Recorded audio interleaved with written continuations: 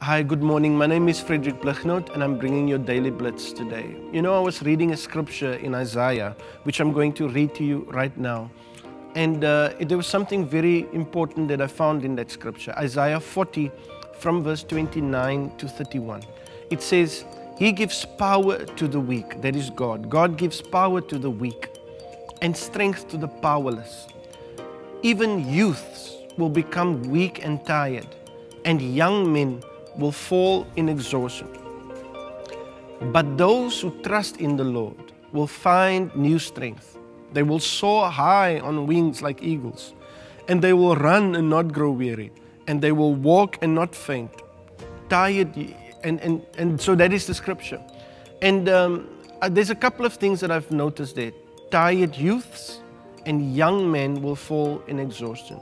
So I want to speak to young people today. There's going to be a time, God says, that the young men will fall in exhaustion.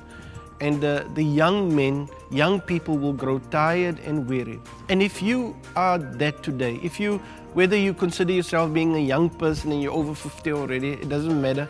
But as a young person, I want you to know continue to go on, don't give up. The, your strength lies in the Lord uh, you are being attacked more than ever before. Even in our time, you know, we didn't uh, face the attacks that you are facing now as a young person who has to deal with all kinds of things. So, my word is just an encouragement today for every single youth, for every single, especially young men who will fall in exhaustion. I pray that when you are tired, I know that God will lift you up like the, that wings like an eagle. And you know, an eagle's wings are strong. It, it, it lifts high above all the currents, uh, the wind currents, and high above the clouds.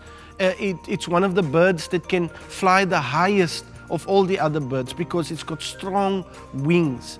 And you will run and, and you will not grow weary, and you will walk and you will not faint. And so I want to speak that over you today. I want to speak strength over you if you're a young person. I want to speak the blessing of God over you as a young man and as a young woman. I want to I want to say that God has got a plan for you. I want you to find strength in knowing that God is with you. I just want to pray for you today. I pray today for all youth, young men and young women. I pray for all people that that uh, put their hope and their trust in God. Don't be weary. Don't be tired. And even if you do feel that, know that God has, has strengthened you and He will lift you up and He will help you to, to, to, to do greater things through Him. Don't give up. He will lift you up with wings as eagles and He will give you extra supernatural strength so you can continue on your day. God bless you as you go on your day today in Jesus' name. Amen. I want to wish you all the best in your life and for the rest of the day. God bless. Amen.